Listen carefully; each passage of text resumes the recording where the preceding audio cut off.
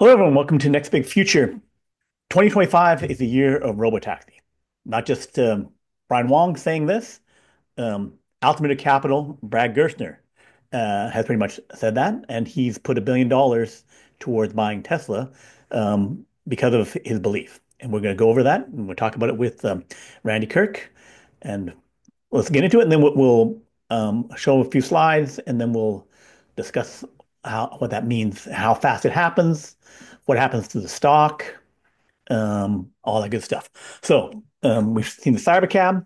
Um, that probably won't be in, in 2025, but that'll be 2026, but um, maybe late 2025. But we'll have Model 3s and Ys uh, all doing uh, FSD maybe better than human. So Altimeter Capital, um, Brad Gerstner on the uh, right there in the cowboy hat. He and Bill Gurley do a podcast. They do 20 episodes. And um, Brad uh, manages over $10 billion in, in funds. And um, he, they had about a billion dollars worth of Uber.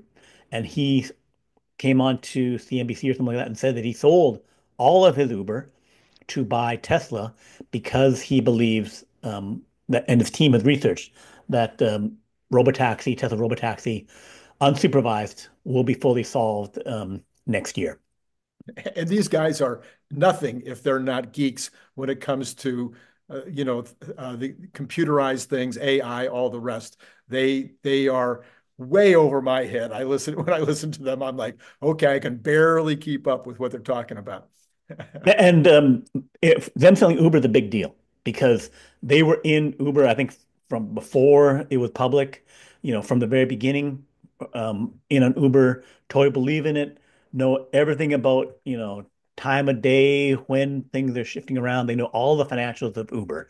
So for them to say, and they still, you know, Brad still loves Uber as a company, but he feels that the Tesla robotaxi is an extinction level event yes. for possibly Uber, um, many of the car companies, maybe three or four will survive after. He did caveat it because, oh, maybe things don't change. Maybe I don't know. But if obvious when he's saying that, he doesn't believe that anymore. Otherwise, he wouldn't have sold a billion dollars worth of Uber. So, so do you think? Do you think? Uh, just as a as a quick aside, do you think the run up on Tesla uh, on uh, Friday the twenty second, being today, maybe if people are watching this today, you think that the run up today was a delayed response to that video? Um, I think that, that definitely plays a part of it. it. Also, Friday is the option day, right, right. so a lot of people playing options. There's a lot of um, people who you know since Q3 have loaded into Tesla options. So Friday you can have movement just because of that. You know, gamma squeeze, all that kind of stuff. Where gamma squeeze being if um, all sorts of people and institutions buy millions of uh, call options saying we're bidding an upside for it, the market makers have to buy stock in order to fulfill. Right. Right. So there's a bunch of that stuff playing around with it because there's so much stuff is going on. That's why there's these big movements up and down. Um, but the I think the clear story is if he also agrees with Elon that middle of 2025 is when this is solved and unsupervised, then you have now like a seven month march to when the ARK Invest unsupervised robotaxi story take, takes place. And you have clearly uh, Brad, Brad qualified as smart money. Right. Right. Right. So, uh, so for people who don't, don't know, like in um, technical trading, people are looking at the price movement as actions, and they're saying, okay, you know, there's um, uh, BX Trender showing, which was an indicator that shows how much institutional accumulation is occurring in a mm-hmm. stock. Mm-hmm. But here, you don't have to read a chart to say, you know, did that mean institutions bought something? It's like the guy made a podcast, went on to CNBC and said, I sold it. I bought a billion dollars with a Tesla. You know, it's like he's slapping in the face with it. I bought it and I'm now, I make a podcast and over an hour long with a chunk 10, 15 minutes in the middle saying, here's why it's going to happen. Right. Right. Right. So, and then we're going to discuss what ways it's going to happen. So, sure. Altimeter Capital estimates that the Tesla with the FSD 13 will reach 15,000 miles per disengagement, pretty much catching up with the 20,000 ish that Waymo has, right? And Brad is not depending upon himself. He has people researching it, you know, spending, you know, expensive analysts, you know, going in, checking the car, videotaping, you know, video and and making sure they know exactly what's happening with that. So he's using data to confirm his beliefs. Right. Okay. And then he says 100,000 miles per critical disengagement by Q1 of 2025, a 13.5 or a 14, you know, that's what he's uh, estimated to happen. And then 500 miles per critical disengagement by middle of next year. Same thing that um, Elon has said. Okay. All right. That uh, and and also Tesla AI, basically talking the same kind of kind of thing. So then 500,000 miles per critical disengagement, that is human average human level, right? But removing a human driver, a supervised driver, and saying, okay, now we can do unsupervised. Um, because they're, and they're doing supervised driving now with um, Right. with uh, people. Um, they said that may not be safe enough because even though you're getting the same number of accidents, possibly the fact that you're getting an accident without a driver is is maybe worth uh, worse in terms of the lawsuits and stuff like that. Hmm. So people think, well, you can't just do it at that point. His argument is that you do it in the areas like California or Texas where you have more cars, more data. So you're even better than this metric. You know, you at that level globally, but you know, you're even better, 2x, 3x safer in California and in Texas where you have more vehicles, more data. And then the other thing is you make it drive safer. You turn the the, the settings so that it's, you know, not following as closely, driving a bit slower. Something that um, people would disengage from and say, okay, you're driving too much like a granny. You know, Right. I'm in the car, I'm take, going for a ride, but I don't like granny driving. I want you to go closer to to my more aggressive driving, hmm right? hmm But if you're a passenger, they can say, screw that. You're not going to disengage because I'm not giving that option. And I'm going to um, drive safer. Right. And you're still going to get there, but you're going to be get there like uh, five minutes later, but you'll be there safe, Yes, it'll be a chauffeur, chauffeur driven. Chauffeur driven. It's also like if I'm a passenger on a public bus, hmm I'm just hanging on, I'm sitting there, I'm doing whatever. I'm not saying, hey, the bus driver should have made that uh, turn or should, have pushed faster ahead. It's like I'm passenger, right? I'm not, only if they do something absolutely freaking crazy do I start screaming, hey, what are you doing, Right. driver, right? Right. Right. 99% of the time, I'm saying, "I- I'm just sitting here.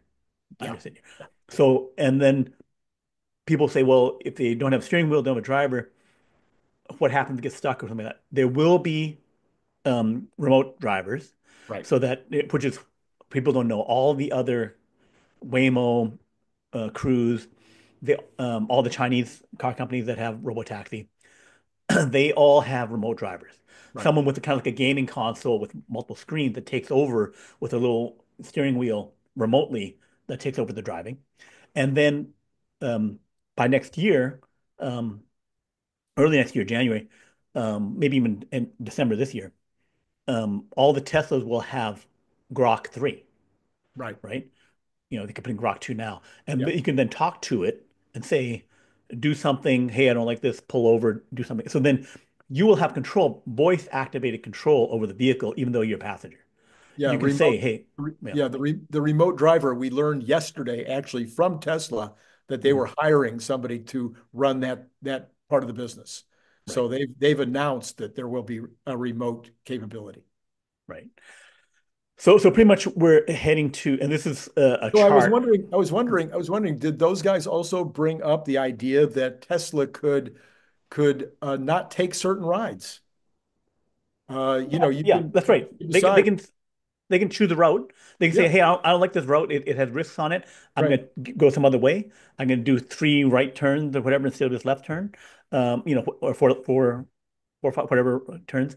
Um, and then, yeah, if they say go to a whatever location, it could always like I, I've been in um, taxis or Uber where I want to go to wherever, but they drop you two blocks away or they Right. pick you up two blocks away, right? It's like, Or or before or before the ride ever starts, they could just yeah, not accept the ride. They right. they can see in the computer that this is a problem. It's uh, by weather, by flooding, by eh, by some kind of road conditions, and they could Yeah, just not take the ride. Nobody'd ever know. right, right. Uh, and if you have a mix of um, some, you know, tiny fraction of supervised and and mostly unsupervised, then they can send the, the one that's supervised Yes, of You still take the ride and you still have the thing. So many, many options for making this work. Right. Um, this was also created by a chart created by Freda Duan, who works for Brad Gerstner, or Okay. the partner with him or whatever, where she went and analyzed it all. And a hundred times from beginning of the year, January 2024, 12.1, a hundred times better by Q3, 12.5. hmm And now they think it's going to be five to six times better to in Q4 for version 13. Um, still not quite to the human level, but they, they expect this two major steps up to better than human by Q2. They think maybe a version 14 at that point. Got Um, it. so this is the chart where they think it's going to happen. And then this is all the, the billion driving miles that, that Tesla is getting to achieve this goal. And they'll have even more. They should probably get to like a billion miles per month um, by uh, next year, uh, middle next year, something like that. So how big, how fast? So right now you need hardware 4, or also now called AI 4. Um, there's about two and a half million cars like that now of the 7 million cars total. Um, but then all the new cars will have hardware 4. So if you add in 1.2 million cars but over the next six months, then you'll, you know, you get close to 4 million hard AI4 hardware 4 cars Okay. um, in in the in the world, Right. um, roughly half between US, China, some in Europe, something like that. hmm And then they've talked about upgrading hardware 3. Right. So the hardware 3 cars, they're talking about swapping out the chip. So um, that would be just a, a service call or, something like that, or maybe they drive out to you and, and then do some kind of replacement uh, where they swap out the, the chip to do it. hmm Um, and they say they would do it for free. Right.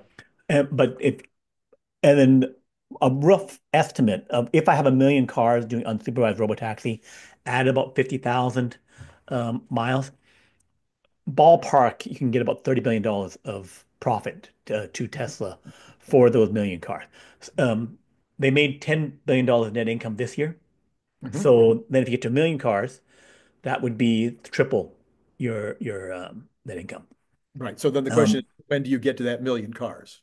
right, right. And How and are you and are you basing this on uh, is your 30 billion idea based on customer-owned vehicles or or Tesla fleet or some combination? This would be um, based on a driving miles calculation of driving 50,000 miles per vehicle, which is less u usage than a full up uh, taxi. Yes. Um, and then assuming like a buck 50 or so per per mile, so hmm cheaper than hmm Uber. Right. And then um, having more profit because of no driver, et cetera. But the, but you you about half the profit. So you're half the profit between half the profit between them and and other other um, car owners, okay. right? So some gets half. so, some Tesla fleet and some B and B, if you or Airbnb type. Uh, Airbnb type thing. Right, Okay. right. And then they discussed, um, you know, Brad Gerstner and Bill Gurley talked about, well, maybe people don't want to sign up for it. You know, Bill Gurley was really thinking that maybe they don't like the fact that a car got trashed, you know, puked in, other stuff like that, you know, smells or whatever that when it's coming back. That a lot of people don't want to handle that. Just like many people don't want to manage an Airbnb Right. where, you know, the person trashed the place, you got to like change the towels, do all that stuff in between um, guests. So Brad's point is that people and companies, you know, he referred to them as like, um, you know, some tech bros would say, hey, I'll, i you know, four of us will manage 100 vehicles for the 100 people owned by other people, but we'll take 10% for cleaning it out and, and managing it and getting it out between people. Where they, you know, you hand over the, you know, the app, you know, you assign, okay, I'll let you have the car for the next 36 hours, something like that, Right. or just eight hours, something like that. And they'll run it and then clean in between, manage it, re, you know, recharge it, and then give it back to you. Which Now, is which is ideally, already which is already happening with Airbnb. That's been going on a long time. Yes. right? And then they would also um, um, look at, you know, they would, the people who manage it would probably choose where you like let them have it over a full weekend. You know, they would prefer to have have the car for a longer period of time so they could, you know, manage it more completely. But, you know, that market will sort itself out, you know, like how much people want to use it and and people decide how much money they want to make. Yes. Exactly. And Brian, as I was thinking about this the other day, you know, obviously Tesla makes a lot more money on these if it's Tesla fleet than they do if it's Airbnb type uh, hmm consumer owned Yeah. cars. They make a, I mean, a lot more money per car, but Mm. I think they feel an obligation to do what they've always promised, which is to make it available to that crowd. Um, and there's, you know, the TAM is probably going to grow slowly. Uh, you know, the the actual TAM as opposed to the ultimate TAM. The the beginning TAM will grow slowly. Um, and so I think they'll want to see how many people will, in fact, take advantage of the opportunity. And I think there'll be people, as we you and I've talked about before, entrepreneurial types that will buy these vehicles and make smaller fleets. They'll buy used vehicles, they'll buy them from Tesla, um, and and grow and grow smaller fleets uh, compared to say Tesla's fleet. But ultimately, if Tesla doesn't feel like the market is being addressed quickly enough, I Yeah. think they'll just start putting out lots and lots and lots of of owned vehicles. Uh, Right. they'll have they'll have capacity, and they'll Right. just start really jamming out a lot of, and that's just going to be better for the stockholders and better for Tesla. Right. Right. So that I think that the range of small to big, my last point on the slide for not bother bringing it up again, is that Uber, Didi, Apollo Go, Apollo Go is a robotaxi company run by Baidu over in China. There's like 10 of them over there. They were looking to get, you know, thousands of vehicles this coming year, Right. but they would then get, uh, in my belief, Teslas instead, and Mhm. they would go even bigger because they are not building those vehicles. They are getting those vehicles from partners like Toyota, Volkswagen, Stellantis, um, Baidu, uh, uh, or um, uh, BYD, or whatever, whatever. You know, they're getting vehicles from other companies, and then they're getting the chips and software from NVIDIA. You know, so it's like they're like assembling this thing. They're not like Right. like Tesla vertically integrated making the whole thing. So for them, it's like I buy from supplier A, I buy from supplier B, I buy from supplier Tesla because Tesla things works Right. and, and, and fully and it's cheaper and all that kind of stuff. So yes, you have five, ten guy, you know, guys buying five to ten vehicles to operate themselves. You have slightly bigger groups operating a few hundred, and then you'll have a um, Uber buying a million vehicles or 500,000 vehicles, or you know, Didi buying that number, and then uh, Apollo Go buying 100,000. So like these whole range of other partners for Tesla, small to big, that would be buying vehicles. And then it's Tesla's option to decide, you know, if they want the full range, you know, who they want to partner with. They could say, okay, you know, um, for whatever reason, I don't choose to partner with these guys, or I change the, the terms because I want more, you know, like they can adjust how they deal with um, different uh, companies and people. So one of the big objections, uh, I saw Gary Black today. Of course, he says, you know, you have to solve FSD before he's going to get excited. But I think, you know, Brad Gerstner knows a lot more about it than uh, Gary does. And if Mhm. Brad Gerstner thinks it's going to be solved in six months, I, I, I would, uh, I, I would put a lot of stock into that into that statement. Um, but the other the other issue that people bring up is they think it'll be a slow rollout because there'll be a learning curve. And quite frankly, I made that same statement about six months ago. The deeper and the deeper that I go into it, just as a thought experiment, in addition to listening to other people like you and and and Bradford and and and Brad Gerstner and you know, and I listen to what people are saying about some of the solutions. Like for instance, the re I I started talking about remote drivers um, I want to say six months ago, I said there would be. I said there absolutely will be some kind of remote capability on these vehicles, and there will be a human that you will be able to get to in these vehicles. And everybody's, no, they won't need that. They're, it's not a purist enough for Elon. And I'm like, no, they're gonna anyway.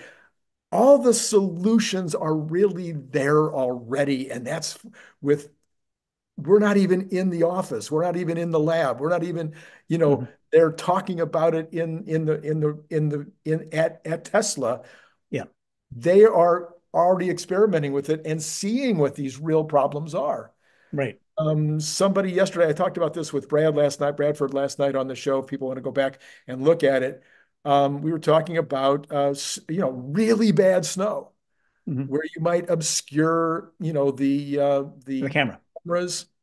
Okay, I've been in that snowstorm where it was obscuring my windshield.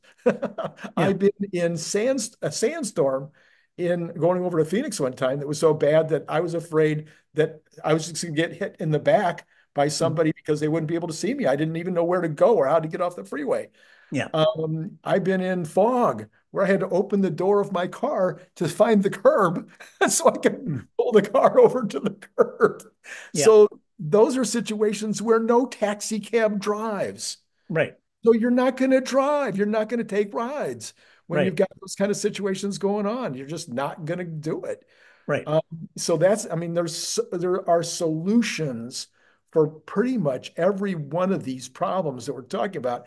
And Mm. Tesla's going to know those solutions when the time comes. I don't think it's going to be a slow rollout at all. I think they're going to roll it out as fast as they can. Well, we we found out um, that they have been operating supervised Yeah, robotaxi in California and yeah, Texas for the yeah, past year. Yeah. You know, I don't know how many, you know, hundreds, a thousand. They have 20,000 employees in California, in in mostly in Fremont, and they have like uh, you know, 30,000, 40,000 in Texas. yeah, So if you were to actually just give all of them commute rides and some for the family, you're already at 160,000 rides per week, right, which is, you know, as much as uh, Waymo does. right. So they can rapidly get to really big scale, and they've been, I say, learning in supervised mode for for a full year. So that small phase is already kind of happening. And when Uh, they get to the unsupervised level, when they figure it's time, and you know they're they they fit, you know they could put they could tell those guys that are are the supervisors in those cars, hey, Mm. put your cross your legs on the seat and put your put your arms like this. Yeah. We still want you in the car because we don't want the cops to pull you over, but don't touch that wheel and don't touch those pedals. We got to see if this thing works for thousands and thousands of miles. Right. Right. Yeah, So they're already getting a lot, a lot of data, and you know now it appears both China had the national robotaxi um, uh, regulation, right? right. They say, okay, you need to have one, uh, every three cars need to have one uh, remote driver, and they have all these rules about that. And it looks like um, very soon in February, uh, Mhm. March, you'll have a cross US similar program. So it, if they Well, you get the know, you FSD know, licensing, You yeah. know, the UN is putting together one also. Okay, I didn't know that one. Yeah. Yes, so the United Nations is putting together an automation, an automated, uh, not necessarily for robo taxis, but rather for autonomous vehicles. What does it take? Uh, Hmm. what what what what should the rules be? What should they look like in terms of taking the driver out? And it sounds like while Europe is working on their own and Australia was working on their own. Now it turns out that a bunch of countries like Australia, Canada, Mexico, et cetera, they're just going to take the UN rule, whatever it is. So Mhm. that also is apparently about ready to uh, come out. Well, that goes to the fact that all the countries, like if, if China and the US go number one, number two economies in the world, Right, they say, here it is, we're going hard for robotaxi. We both right, want it. You know, right, Xi Jinping has wanted it for a couple years. You know, Trump wants it, he can come in and, and do that. So then um, all the other countries, even if they, they had reservations about it, will say, well, we have to go too. Like, no, we can, would be economically disadvantaged if we don't, you know, try and do this. So then it could be a more of a race to the bottom of like, everyone doing as much as they can. So also you have like countries choosing to to buy um robotaxis. Just like there's national ChatGPT AI type programs that you'll this becomes a, a competitive technological advantage. If it's really arrives, Sure. then it's like, you know, buy a hundred thousand vehicles eh, because you can make um, cities more efficient.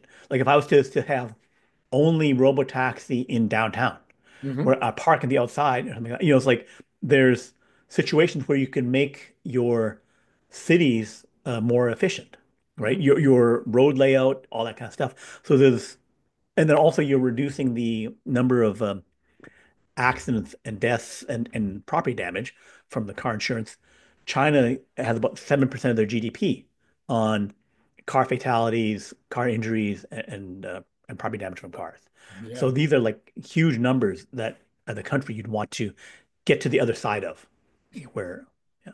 There's another interesting twist. Uh, a video came out yesterday. It's already got over a million views. This is a guy who is a big uh, bicycle advocate, and I should appreciate him, having spent my entire career at least partially involved in the in the bicycle industry throughout the entire time. Um, and uh, so he's uh, you know talking about how uh, automated cars are great, except that they're going to be you know so many more of them on the road because people won't even think about uh, you know getting their their uh, In-N-Out burgers delivered to their house when it only costs three bucks to get right. it delivered instead of ten bucks.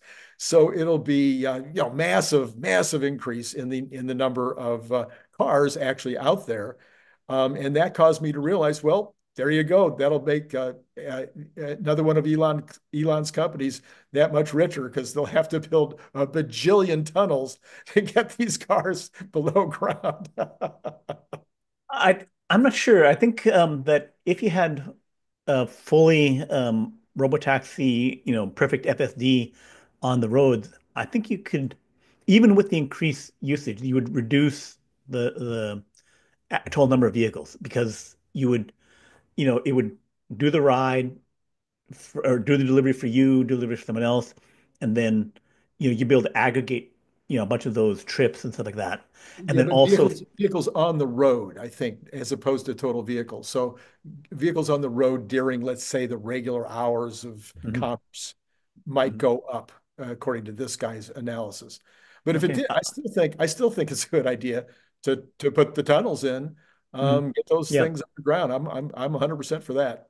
Yeah, that's still going to take a, a, while because um, you know they're just trying to speed up to they finish the the Vegas set of tunnels in maybe a year or two. Yeah. So getting to a lot of cities would be take um quite a while. I think I you know they could scale up. Yeah, yeah. But I understand Elon plans to build like a hundred thousand proof. What do they call them? Proof, Prufrocks tunnel filling machines, yeah, like you know, like a million of them or whatever, and they'll just be out there everywhere. mm-hmm. Yeah.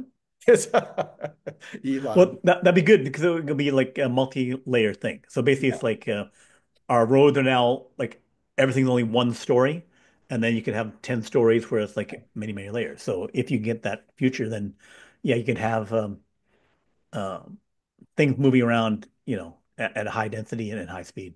Yeah. Yeah. yeah. what a world.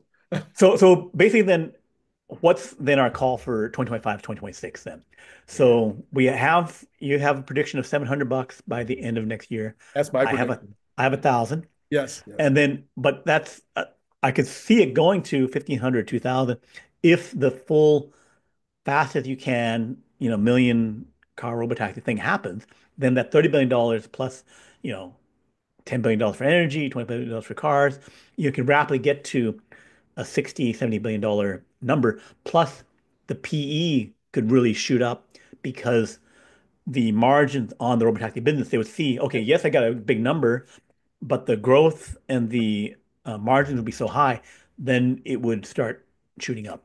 Um, yeah, so I've I've since I came out with my 700 number, and I've re, tried to remember to always repeat this. My yeah. 700 number has a caveat, and the caveat yeah. is depending on the rollout of robotaxi. So depending on the timing and the number involved in the rollout, it could be substantially more than $700 to your point. So we're we're in 100% agreement on that. Now there's another caveat to it as well, and that's what if the street decides that uh, Optimus is a thing and it, mm. and it may not require them to start selling them yet because if it's uh, I the way I put it the other day was if if Elon shows 50, 70, 80, 100 out of the 1000 or 2000 or 3000 that might be working there if they just go around and show them doing different tasks yeah. not just not just pick and place but drilling things in uh, soldering um, uh, welding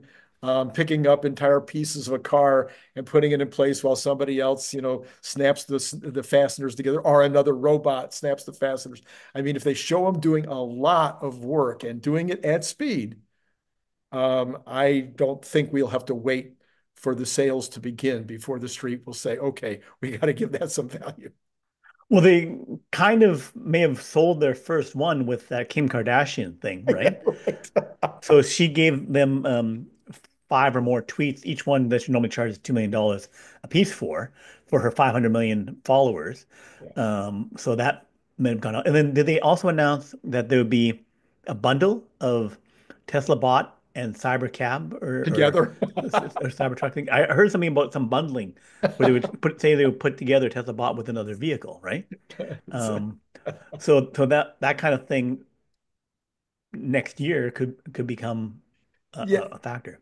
Yeah, actually, you know, I know we keep going down rabbit holes, but I was also thinking this morning about the whole business of the delivery aspect of it because, you know, I famously only have one car now. Uh, you know, we we Mhm. we're getting by with one car because I never go anywhere. Uh, but maybe I would like In-N-Out for lunch today.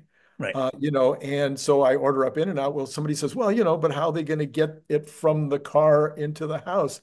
And I thought to myself, when I call an Uber, I look at my app and I watch the darn car driving around the block and I Yeah. see it come up in front. I know where it is. I go out and I get in it. You Yeah. know, well, why can't I go to the car at the street, open the door, pull out my In-N-Out and go into the house? Right. Right. Right. Yep. I don't really need a robot to do that part. Yep. Yep. So it's and having just a, a robot arm that could take the package delivery for many of the delivery services, they just leave it at the Yeah, curb or just up the way a bit, you know. Um, so I think it's a a very solvable problem. right. Indeed. So we're, we're thinking that yeah, 2025 is is the year robotaxi, and it's um it will could further increase the value of um, Tesla stock, and the fast rollout is definitely possible. I think that's the, the I general think so agreement that we too. have. I think so too. I'm coming to that conclusion. Okay, so then next video we're going to talk about uh, SpaceX and Tesla bots because Elon wants to send Tesla bots and Cybertrucks uh, to Mars, and that's a, a very interesting topic. So see you next time. Bye bye.